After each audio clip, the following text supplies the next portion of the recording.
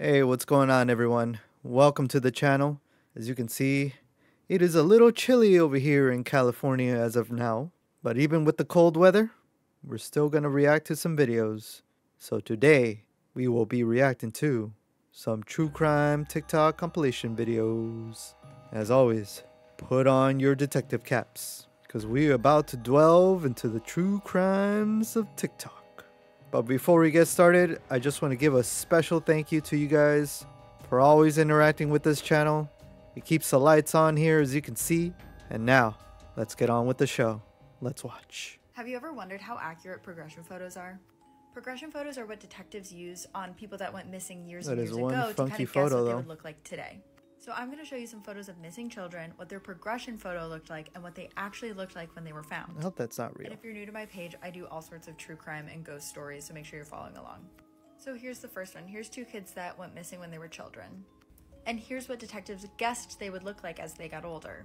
but pretty here's accurate. what they actually look like when they were found. As you can tell, like the hair color is wrong, general face shape is kind of right. I guess on the little true. boy it's more accurate, but these look like pretty much completely different people. Yeah. So here's another one. Here's a, a baby that went missing. And this is what detectives thought he might look like when he got older. And granted, it's so hard to do this on babies. Yeah, no. As you can tell, he doesn't really look anything like what his progression photo looked like when he was eventually found. But this little girl below has some similar features to what they thought she would look like as she got older. I'm so happy that this group of kids got found, but it's also proof that you need to find kids as quickly as possible because they just start looking so different so quickly. Yeah, that's uh that's pretty crazy. As you guys know, we are delving into the new age of AI, so with all this upcoming technology, we're going to get better results and it's going to be frighteningly creepingly fast that all this technology is changing ever so rapidly. So, I can't wait to see it. I hope it does more good than bad. I know you could surf the web and surf the web. Now I'm aging. You can see my age now. But yes. Um but yeah, no, I'm I'm really excited to see what the future provides for us with all this upcoming technology. Can't wait to see it. The correct term was showing my age, by the way. This tenant lived in a luxury home for a year and a half for free and insists that the landlord pay her $100,000. Elizabeth Horstrand rented this stunning Airbnb Oh, guest house in LA that's worth $3.5 million but decided to overstay without paying. She says she has the right to be there, but everyone seems pretty upset about this entire situation. Elizabeth's been staying since September 2021, but the agreement was that she stay for six months, so instead she asked the landlord to pay her $100,000 so that she can relocate. A judge ruled that the landlord has no legal reason to evict Elizabeth from the home due to the city's rent laws, which absolutely sucks. And then Elizabeth's attorney argued that she wasn't required to pay rent because the home had never been officially approved by the city for someone to live there. And she also claimed that the shower was built without a permit. Elizabeth has made it very difficult for the landlord to enter his own house, and he even offered to pay for her hotel stay, which she declined. He called Elizabeth a tenant from hell, and he filed a lawsuit to a victor, and finally, she was forced out of the home this month. So, my question to you guys is do you think Elizabeth's reasoning was valid, or is she out of her mind? You know, all those um all those city laws that LA has, I think that went in for her favor for sure. Um, she did have a lot of valid points with the regulations and whatnot, and you know how they just explained about the shower.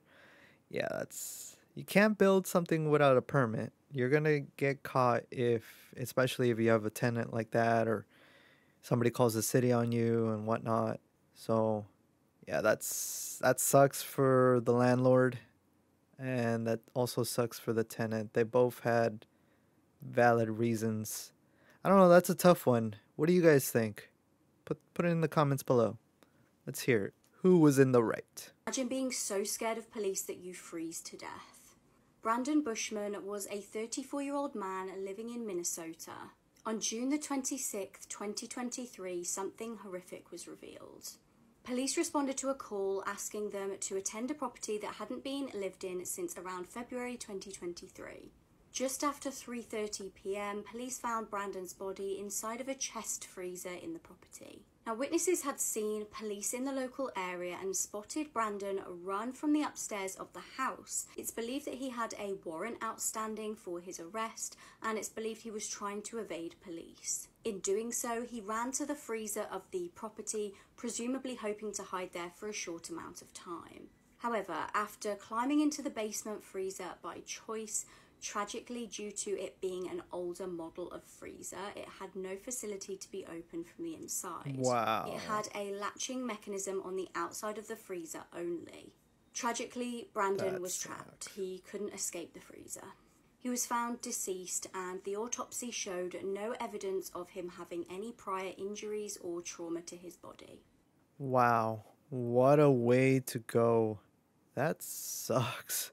It kind of reminds me of the um what is it? Like the rooms that you can only get in or you can't get out, like trap rooms. I don't know if that's what they're called, but how come everything was built like that in back in the days? Must have been a there must have been a valid reason, especially you saw it in the um in the old fashioned cars. I believe in the movies, you know, like Taken or something. Nobody could open the door from the inside when they're in the trunk been, being kidnapped. And nowadays, you have uh, latches that you can open them from the insides, the trunks of the cars, by the way. It'll be harder to get kidnapped for sure, unless you're tied and whatnot and all that, blah, blah, blah. But yeah, there must have been a reason.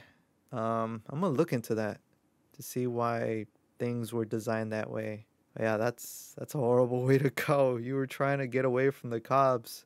My boy did not. I served my customers human flesh burgers in my restaurant. My name is Joe Metheny, also known as the Cannibal. I killed and dismembered about 10 women, turning them into hamburgers. It all began in 1995. I was searching for my son, whose custody had been taken away by my ex-wife a year earlier. Under a bridge in Baltimore, I encountered two homeless individuals who were using drugs with my ex. Enraged, I killed them with an axe. I also killed a fisherman, fearing he might be a witness, then disposed of the three bodies in the river nearby. A few months later, I came across two prostitutes. Like a butcher, I turned them into meat, which I stored in Tupperware containers This guy was placed in a paranoid. freezer. The remains were buried in small graves I had dug in the woods. In the following weeks, I sold human meat hamburgers on the side of the road from a trailer. Since the taste of human flesh is very similar to that of pork, no one could tell the difference.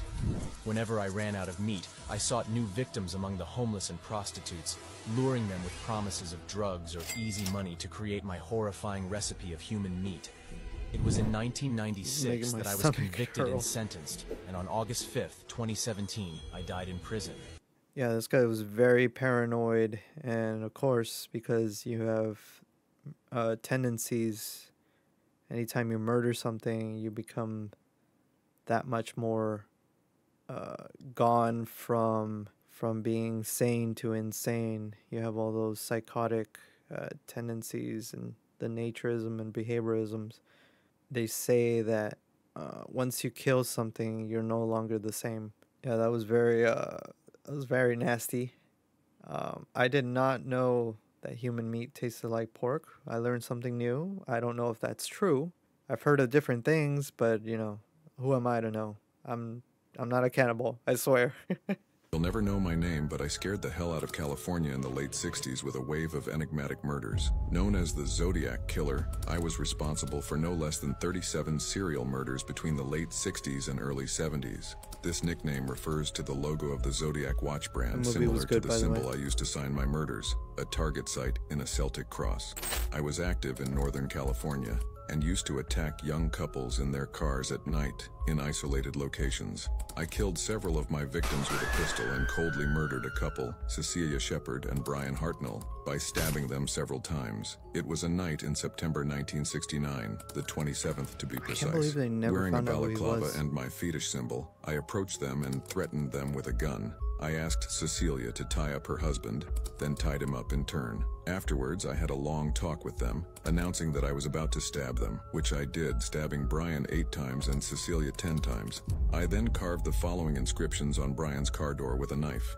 For several years, I sent letters to the local press containing messages encrypted with strange symbols, all of which have been deciphered to date. The latest was by a French cryptologist who claims that I am Lawrence Kane, one of the known suspects in the case, now deceased.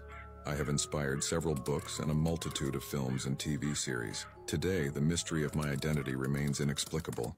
Yeah, whoever the Zodiac killer was, you can't deny that he was very intelligent in his sort of way. Um, it's such a feat that we'll never know who he was and how he kept hidden. That's it's sad to say, but that was that's pretty impressive. Not to praise a killer or anything like that, but for someone to get away from the law or any punishment, that's pretty crazy and scary. It's kind of like the now that we're talking about this, kind of reminds you of a Texas Chainsaw Massacre uh, character. Kind of similar, not really, but that just popped into my head. Just because I don't know, I don't think he got caught, the Texas Chainsaw Killer. Um, but yeah, this Zodiac Killer or whoever he was, uh, he knew his stuff, and it's frightening. Hopefully, we don't get someone like that in the future. Hopefully, nobody gets inspired by that to do the same horrific things that he did. But you know, history, I have to be doom and gloom here. History tends to repeat itself. I really hope it doesn't. Unsettling clue was discovered in the case of the missing woman and the mysterious road trip. Gwen Brunel is a 27 year old from Idaho. She left her home on June the 26th to embark on a solo road trip and was last seen on CCTV. She told her family that she would stay in regular contact with them, but shortly after starting the road trip, her phone was shut off. Bizarrely, she told her boyfriend a story about what she planned on doing. She bought 11 show rabbits and told her boyfriend that she was going to California to meet a rabbit judge for training. She'd packed up the rabbits with enough food and water for them for about a week. However, the rabbit judge in question stated that they never heard of her and never made any plans to meet with Gwen. Gwen was spotted at a small shop just 20 miles from her home. This was on the day that she left on the road trip, and strangely, she was captured on camera wearing different clothes than the clothes she left her house in. Also, strangely, as the place was just 20 miles away from her home, it took her three hours to get there. She was then seen the day after at a petrol station in Jordan Valley, So Oregon. what, did she plan to She then went across the road to buy some snacks and reportedly told a member of staff that she was in a hurry. The member of staff, though, then saw her sitting in her car outside for an hour. She vanished and her parents reported her missing. Disturbingly, her car was found abandoned in Malheur County, about half a mile from the highway. Her keys and possessions were still in the car, along with the 11 rabbits. Tragically, five of the rabbits had passed away from the heat. There was a huge search in the area to try and find the missing girl, but no luck. Two months later, though, there was a disturbing clue. Her t shirt was found tangled in a barbed wire fence near Dog Creek. Her boots were also then recovered not far away from the t shirt. Police say there was no sign of an abduction, but why would she leave those rabbits to die? All of her family and friends said how much she loved rabbits and that she would never leave them in harm's way. Police are encouraging anyone with any information to come forwards. This case sounds like a typical runaway, um, having an excuse to go somewhere and then not be found or not want wanting to be found. Excuse me. Um, or maybe she just out of nowhere developed some kind of mental illness. Yeah, a lot of strange factors in this one. It's crazy how the mind works. If you ask me, it sounds like either or. I'm going with the more of the runaway because that's what it sounds like to me. But what do you guys think? Groomed by a man more than three times her age, Kellyanne Bates was only 14 when she met the man that would end her life in what still remains one of the most horrific murders in the UK. Quick trigger warning some of the details in the video are quite graphic and hard to listen to. James Patterson Smith was an extremely violent man. On the outside, he looked perfectly normal and was actually described No, by friends as well groomed and house proud. He'd been in a few relationships before meeting Kelly, but they'd all ended due to his violent temper. He'd even tried to drown two of his previous girlfriends. And at the age of 46, he met 14 year old Kelly while she was babysitting for some of his friends. Their relationship was kept a secret by Kelly and James for two years, but at the age of 16, when she left school, she moved in with him. Hmm. When Kelly's parents finally met James, they were shocked by his age, and Kelly's mum did everything she could to try and persuade Kelly to leave the relationship. As the months went on, Kelly became more and more withdrawn, and eventually stricter. all contact between her and her family stopped. On April 16, 1996, the police received a call from James saying that he'd accidentally drowned his girlfriend in the bath. When they arrived at the house, they found blood throughout the rooms, and Kelly's naked body was in the bedroom. It became quite clear that this was not an accidental death. Kelly had drowned in the bath, but only after enduring up to a month of torture at the hands of James. Kelly had over 150 injuries in total. She'd been tied up with a ligature around her neck. She had burns to her legs, a fractured arm, multiple stab wounds from knives, scissors, and forks. Her hands were crushed. She had stab wounds inside her mouth. She'd been partially scalped, and she had two empty eye sockets. Mm. Kelly had endured all of these injuries in the weeks leading up to her death before finally being dragged to the bathroom and drowned. James was quickly arrested but denied murder, saying that Kelly had inflicted all these injuries on herself to make him look bad. He then changed his story and said that it was him, but that Kelly had taunted him and dared him to do it. It only took the jury one hour to find him guilty, and he was sentenced to life in prison with a minimum of 20 years. In January 2023, he actually became eligible for parole, but it was denied and he remains behind Good. bars. That piece of Schmidt does not deserve to get paroled or any access to the outside. That is sad. Took out the eyes, everything. He wasn't satisfied with, with just one thing. He really was a masochist. I don't know if that's the right word, but yeah, he took his time. Um, he definitely enjoyed it. I hope he's rotting. Poor girl. Parents should have been a lot stricter. I know that's a conflict of parenting, but I mean, she's underage. I don't know how it is in UK. It's a double-edged sword situation.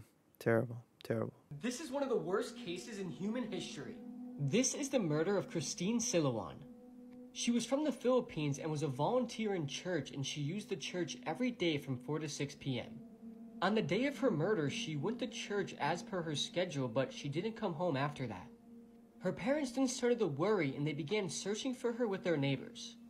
And what they found is absolutely horrid. They found her body in a farm where half her face was sliced like a piece of pizza, and her face was literally skinned down to her skull.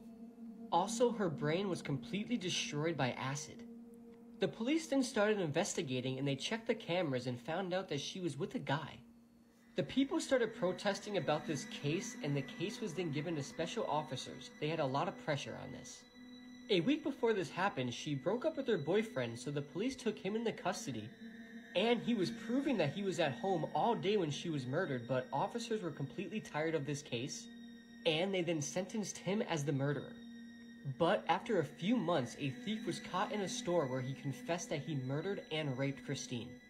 He said he started talking to her on Facebook with a fake account and was using fake photos of another guy that was pretty good looking. Christine fell for the guy and she assumed that he was about 20 years old and they started texting daily. One day they both decided to meet up at 6 p.m. near the church she went to. But upon arriving, Christine noticed that this was not the guy she was talking to and he was around 40 ish years old. She then refused to talk to him and tried to go back, but he held her hands extremely forcefully. He then took her far away from town and raped her repeatedly and put iron rods inside her personal organs. He then cut her face in half and then skinned her whole head down to the skull. Uh-huh.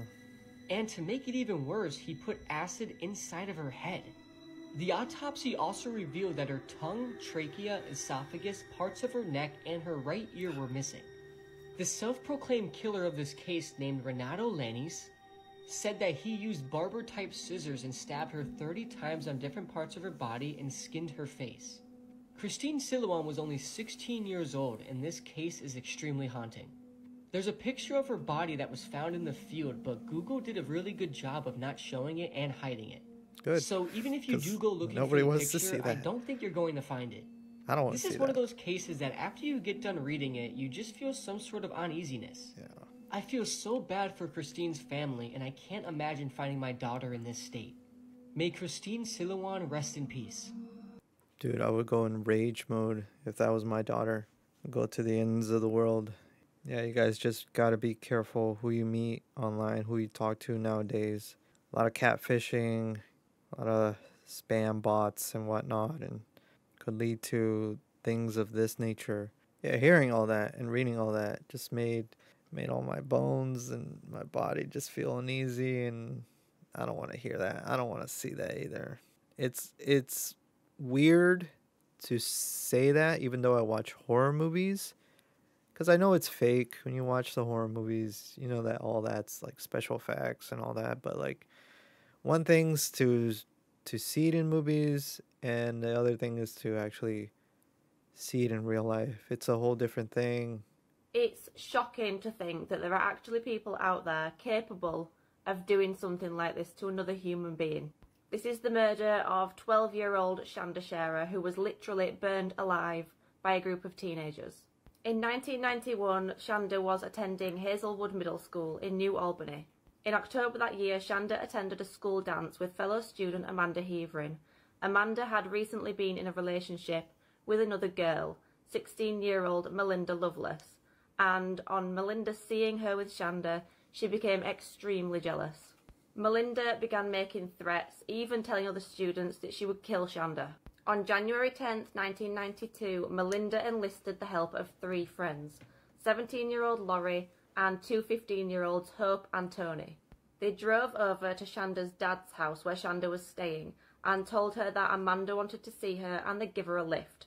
She couldn't see Melinda hiding under a blanket in the back seat, so she went with them. As they started driving, Melinda jumped out from under the blanket with a knife and she threatened to slit Shanda's throat if she didn't confess to stealing Amanda from her. Shanda was actually too terrified to speak, and Melinda ordered the other girls to drive to a remote trash dump in the forest. They thought that she was just trying to scare Shanda, but they were dead wrong. Melinda dragged Shanda from the car and started to slam her knee into Shanda's face until she was covered in blood. Laurie then joined in with the attack while Hope and Toni stayed behind in the car. Melinda and Laurie then tried to slit Shanda's throat, but the knife wasn't sharp enough, so they stabbed her in the chest, strangled her, and then threw her into the trunk of the car thinking that she was dead. They then went back to Laurie's house to clean up, and they heard Shanda screaming from the trunk of the car, when they realised she was still alive, Laurie ran out with the knife and stabbed her a few more times. She then drove off with Melinda to carry on torturing Shanda, this time with a tyre iron. They then drove to a gas station and filled a two litre bottle with gasoline. Shanda was then wrapped in a blanket naked and set on fire.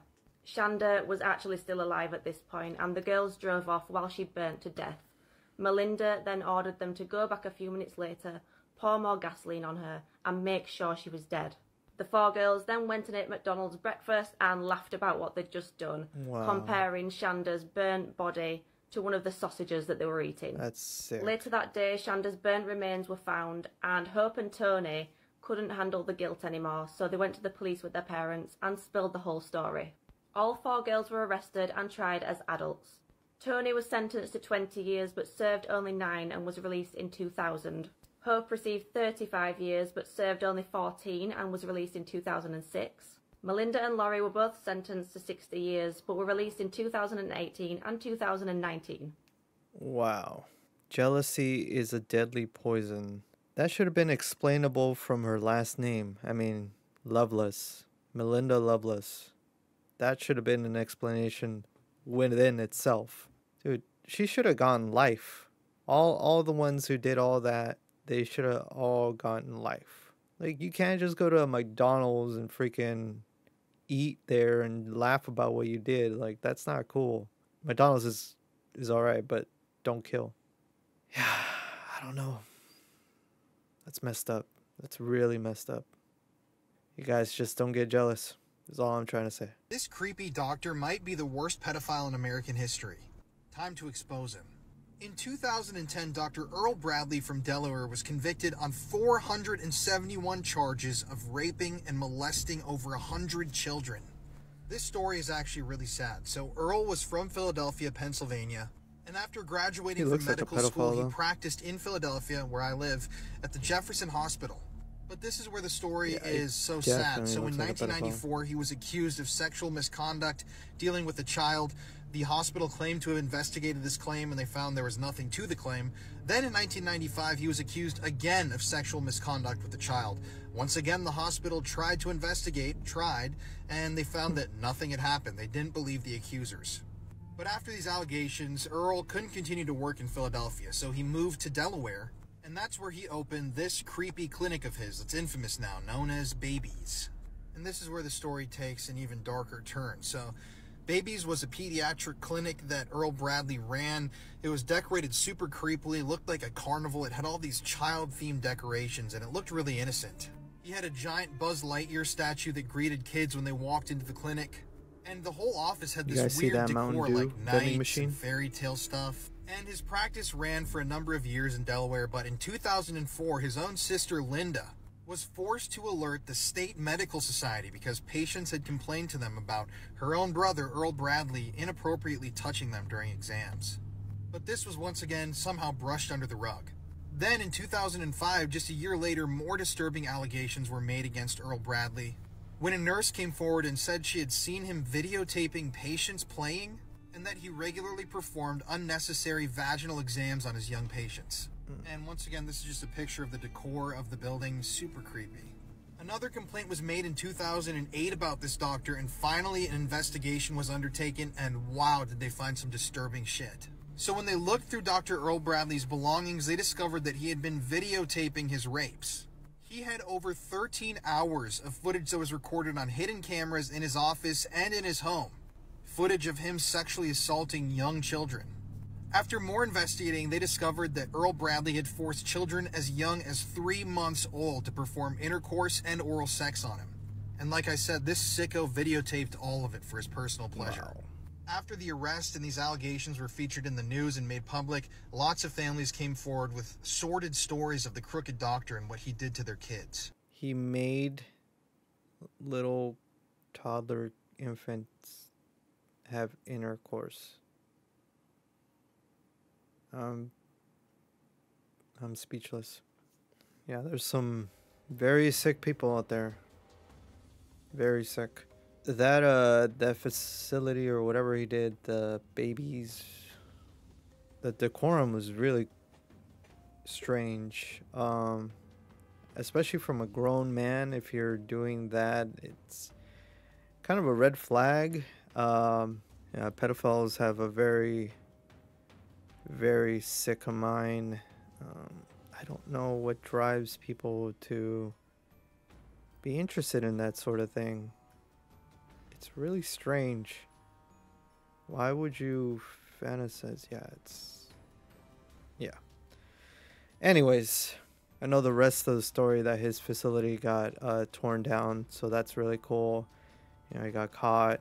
You know, this just goes to show you that karma comes around.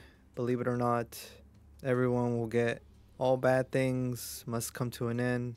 Really glad he got taken down. Well, alright, guys, that was the video. Hope you guys like this reaction video to True Crimes TikTok completions. And you guys look forward to more content coming up soon. Don't forget to like, subscribe, and comment. And I will see you on the next one. Peace.